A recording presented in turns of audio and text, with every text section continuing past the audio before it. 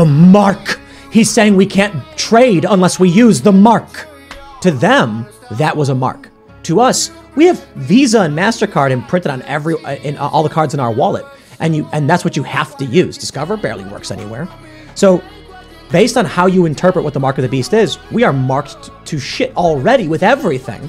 And you can't have a bank account unless you have a social security number. So I can argue the mark of the beast came 70 years ago.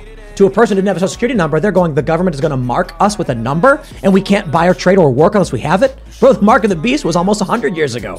So here's the, here's I've heard that argument. Here's the problem with that argument. The Bible describes all of this being executed by one individual called the son of perdition. Okay, he's prophesied in the book of Daniel, the book of Revelation, the book of Thessalonians.